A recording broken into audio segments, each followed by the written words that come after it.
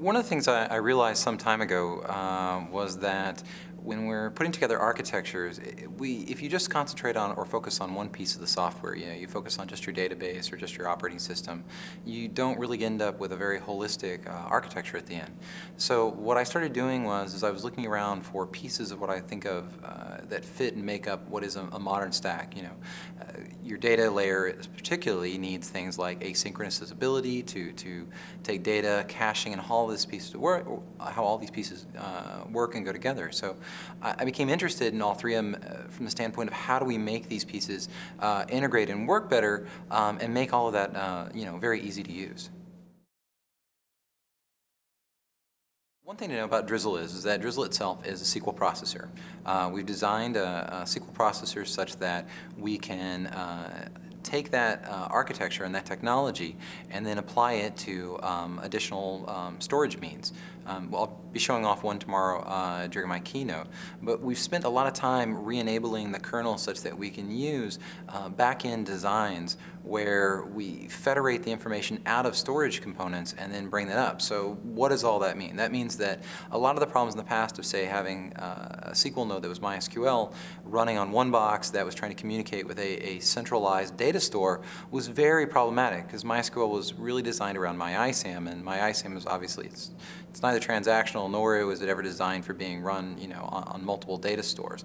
So we really try to take the, the kernel, uh, you know, that SQL kernel that we've got and really enable it um, so that it can use any kind of these, you know, back-end designs nowadays. You know, we, we have prototype engines out there that use Memcached. Um, there's obviously, you know, using Cassandra uh, uh, as a, a back-end, and there's a few other that we'll be showing off.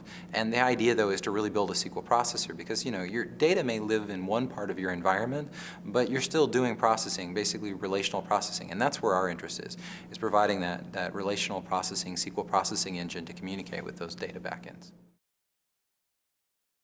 Well, the goal with it is to enable the environment such that, well, you shouldn't necessarily have to do those sorts of things. If, your if your SQL nodes that are in your, your front end environment are just communicating back with the data nodes, if you need more you know, processing power, the same way you would add more app servers, you should just be able to add um, more Drizzle nodes to that front end, you know, assuming you're using a, a shared nothing back end uh, for those environments. We did, though, uh, early on go in and actually do some work to try to make some of that easier, though. If you also on the front end want to do, you know, sharding it, when we designed our new protocol, we specifically designed into the protocol things like sharding keys and other components to make it very simple to, you know, build that build that layer up in your, your application environment such that, you know, sharding would just be built into the layer. In the same way that we thought about the way we did Memcached and so forth.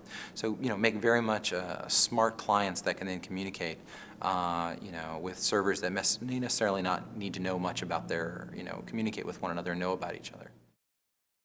Well, the uh, exciting thing about Gearman sometimes uh, is uh, that uh, it's still in its infancy and we can actually still make changes to it. Um, the, the, sometimes the most uh, um, painful thing about it is we have yet to actually learn how to communicate with people exactly what all it can do.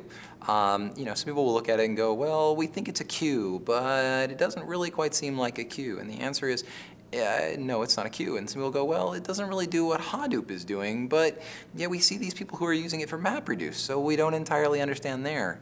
And the answer is, is that uh, Gearman and where we're pushing Gearman is towards an environment where when we look at things like queues and MapReduce, why isn't really that pretty much that what you're doing there and your, your processing, your, your asynchronous processing that you're trying to do is really all essentially the same. So why lock somebody into MapReduce? Why lock somebody into a simple queuing concept? Let's build something that's a little more flexible. And I think a, a lot of traction we get in Gearman, uh, which occasionally surprises people, is around things like hey, uh, it's not Java. Uh, it just runs as binaries on your machines. It integrates really well with multiple languages. So, you know, it integrates well with PHP. It integrates well with Ruby. Uh, you don't, you're not forced into, you know, well, it's a Java component, so this part of our architecture needs to be Java. We really don't care what language uh, you use. Uh, so, you know, if we can keep things that are ease of use, we keep people away from having conversations about, well, if you want to use this tool, you have to switch this language. Uh, we think we go down the right path. One of the things that we look for Drizzle as, as, as in these environments is also SQL. Uh, you still need relational operations. You still need to be able to do reporting. You know, not everybody wants to go out and write a you know, a map-reduced Erlang function whenever time they need to dig up a report. You know, SQL, SQL has been around for a while, and there's a reason for it. I mean, even if you look at Hadoop implementation today, and you know, Pig hasn't really gained all that much uh, that traction, and you look at what has gained traction in Hadoop world, it's the more SQL-like interface that they've come up with. Uh, so to me, the goal is, is let's create, you know, work on interfaces around tools people already know necessarily how to use. And as far as the NoSQL movement, Sure, primary key lookup is awesome. I, I obviously I work on Memcached. Memcached is a NoSQL solution. It is designed for primary key lookup. That is what it does. It works really awesome. Uh, on the same token, can I write, uh, you know, an on-the-fly uh, reporting, uh, you know, by just writing a simple SQL statement to get back an answer? No, I obviously cannot do that. That's that's a problem sometimes with NoSQL. One of the other also problems with NoSQL movement has been it's often been defined by the fact that it doesn't support SQL, which means that you lose the fact that like you know we look at something like Couch. Couch is a, a for the most part you know single node HTTP, uh, awesome. It does JSON. It's got a, it enables all kinds of new applications. Uh, but can you run every application you ever ran, every kind of analytical type, you know, analytic design? No, you can't do analytics. That's not what it's designed for. So in some ways, the whole NoSQL term is this giant grab bag of features and uh, applications, and their only redeeming feature is they don't have one particular feature. I think the question is there is that what is what are you trying to get at? If you're trying to do a very fast, for instance, you need to do some kind of fast insertion rate, and for whatever reason, a, a more simplified interface than writing SQL insert statements go. Uh, okay, that's great. We can do that. Not a problem. We can crump really simple, you know, TCP/IP interfaces where you can, you know, dump data through things. Uh, if you want to do some kind of a, you know, uh, some kind of a large analytical type query, well, that's not going to work out so much. On the other hand, we look at things like blobs. Blobs work horribly inside databases. Databases are great at small amounts of metadata that can be relationally intertwined with each other. But when you look at something like an image, should you be putting an image in a database? No, you should not be putting an image in a database.